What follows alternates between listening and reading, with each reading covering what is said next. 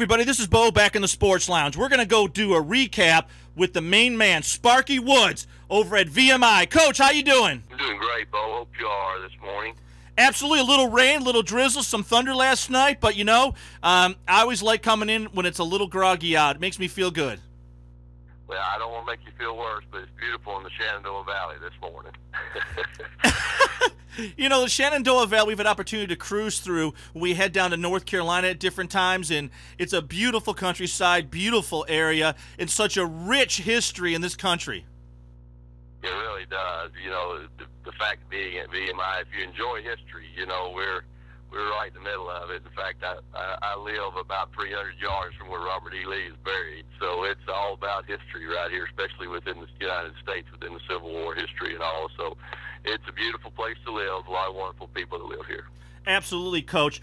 The other thing we wanted to mention out is that we want to say thanks to the military bases and the folks across this country that sent us emails about your program and the support that you have. I think one of the big glaring items here is that you know you you take on a schedule. You've got recruits that have to come in at a certain height, certain age, certain level and you have to compete on a national circuit that has a little different, um, I guess, attendance or, or, student body. The commitment to your program is just so impressive from the alumni, the military folks. Um, you know, it's got to feel pretty good to be part of that. Um, you had a good game against Robert Morris. You went into James Madison, which obviously is a juggernaut. Um, you know, talk a little about that. Well, you know, it, it um, it is a special place, and it's made up of young men who have full days, that's for sure. And and all when I came here as a the interview for this job, I I remember the uh, wasn't sure if this is something I wanted to do or not, and then they introduced me to uh, several of the players, and then boy, I, my passion, you know, I looked at them and I'd been used to coaching a lot of guys who, you know, the future to them was Friday night, and uh, with this guys here, they certainly are serious about the rest of their life, and and they're investing in the next 40 years of their life and in investing in the children they don't even have yet, you know. So I was so impressed with that. I can remember telling the players, I said, you know, I was certainly looking at a bunch of winners right now. I said, looks like our job is to try to help you win some games on Saturday. So that's what we're working at, and they're trying to improve on. And we do have a big challenge. James Madison is an outstanding football team. Uh, Coach Matthews has really done a wonderful job there of putting together some uh, really well coached team, obviously, but at the same time, a very talented team. Very fast. They were, had more speed than we did, and it was hard to keep up with them. That speed really shows up in areas like the uh, special teams. They did a wonderful job of executing their passing game, and uh, you know we went in there concerned if we could stop the run. They they ran the ball very effectively against the University of Maryland the week before when they ran the ball 42 times and only threw it about 19. So we said, man, we got to somehow not just let them run up down the field on us. Turns out their uh, total yardage was about the same as it was against the University of Maryland. The problem was theirs came in the passing game. We were able to to uh, minimize their running game a lot, and maybe too good because it let them go quickly to the passing game, and then they were they would get their uh, really outstanding athletes, maybe against some of our younger not not as fast guys, and they were able to make some huge plays.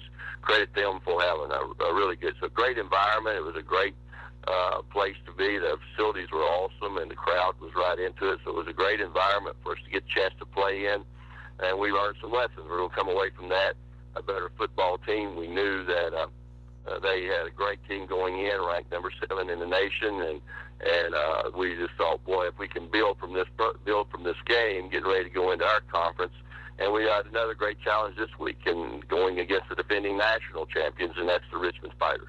You know what's interesting is that if you le- if you read the the mainstream media, they sort of leave off several aspects of the fact of um, how quickly James Madison was moving up and down the field, how quick their team is, and how quickly they they can um, you know uh, mitigate what the other team does uh, you know, when you look at this, when you look at this game for yourself, there's got to be some bright spots on there for guys that stood up that you had to make quick substitutions.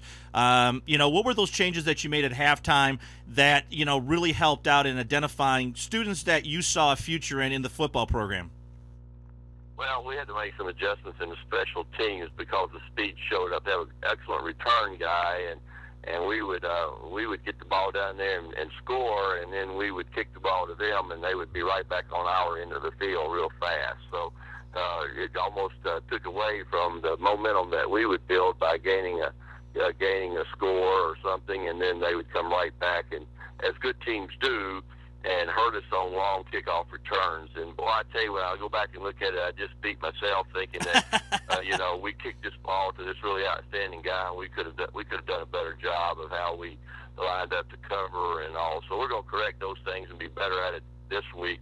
But you, um, I think that was a big thing that stuck out. But some things that I was impressed with uh, with our football team was we're able to stop or at least minimize the run against a team who likes to run the football with skilled athletes. So uh, one thing that's happening nowadays is that uh, everybody is trying to make offenses one-dimensional, not uh, you know to stop the run, and and uh, we're no different than anybody else. But we were able to do that, and but maybe too well. Therefore, they went to the pass, were able to take advantage at times in one-on-one situations with us against the pass. And you can't you can't break down. You miss one tackle against a team that challenges them, and they can go score.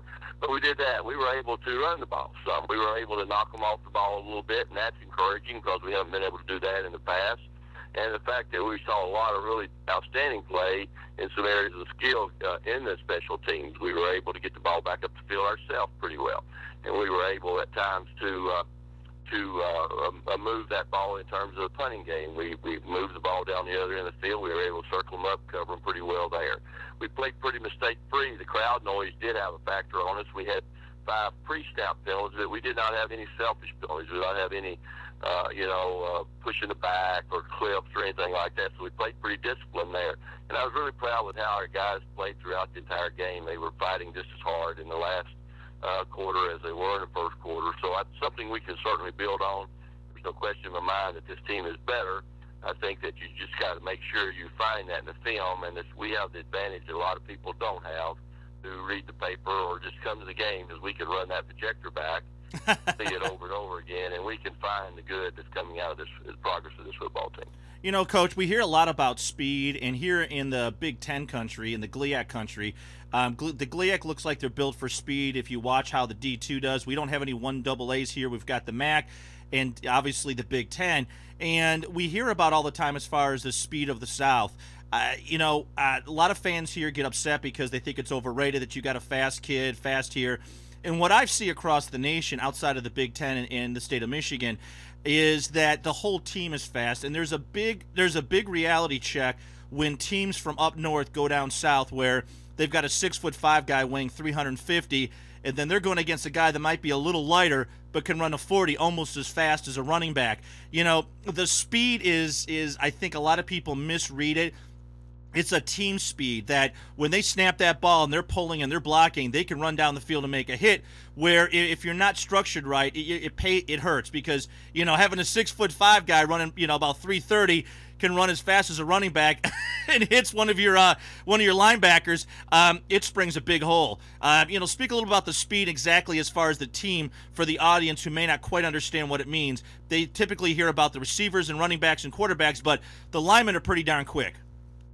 No, no question about it. There's uh, there's a saying that speed kills, and and that's true in football. They, uh, you know, one of the big factors for us was that we were actually we were concerned that we could get movement with our offensive line and knock them off the ball.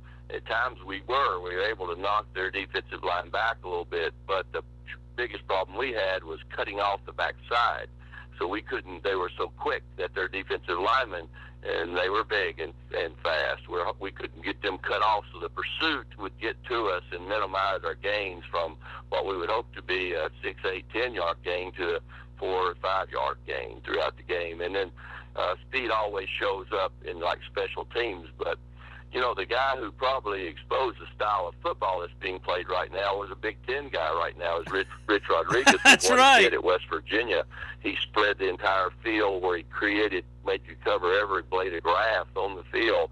And then you take a guy like Pat White or somebody that has excellent speed and quickness, and you put guys out into space where you have to tackle him where it's out into space. So the the spread offense that he uh, cultivated while he was at West Virginia now is carried to Michigan, and it's kind of caught fire and gone throughout the the countryside is a great example of how speed gets uh, people in in one-on-one situations and forces you to make that play where whereas a more conventional I formation or something was power, which is probably something that historically was in the Big Ten. It's fun football to watch. I enjoy it very much.